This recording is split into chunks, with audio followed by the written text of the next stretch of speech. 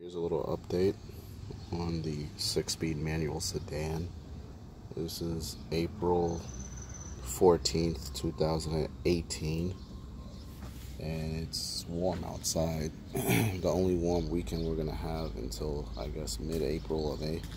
It's like 70 something.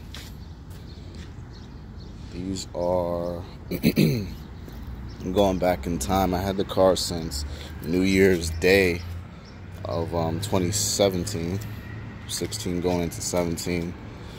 Uh, didn't realize I could get it. Um, that's a Citi Field exhaust, dual angle flared tips outlet,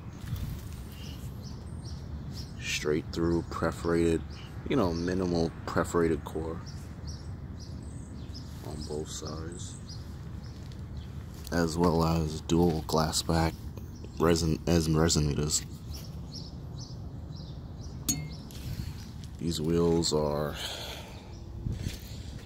STRs. STR.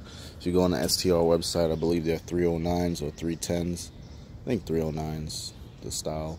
And um, they're 19 by 18 by 9s all the way around, front and rear no drop no suspension work done stock.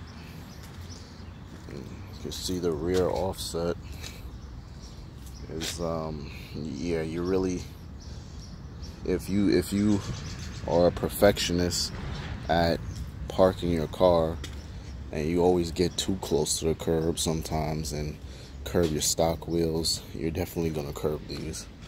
These are curved a little bit these are definitely curved a little bit, but um, it's first time doing aftermarket wheels, so I'm in the learning process.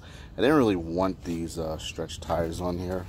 I wanted the, the flush lip look with um, some tires that could make the car sit a little taller, even though these are still 18s, but uh, you know, they had them there, they wanted to install it same day. I said, yeah, so, Formoza Federal tires, stretched, uh, 225 40s, 18.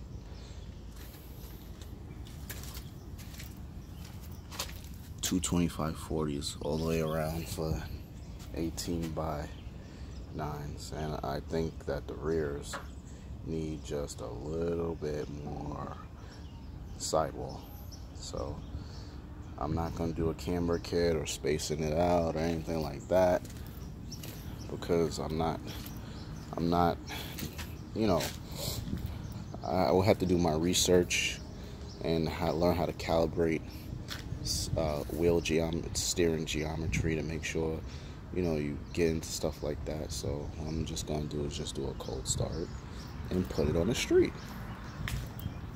That's it so uh, let me find somewhere to put this camera.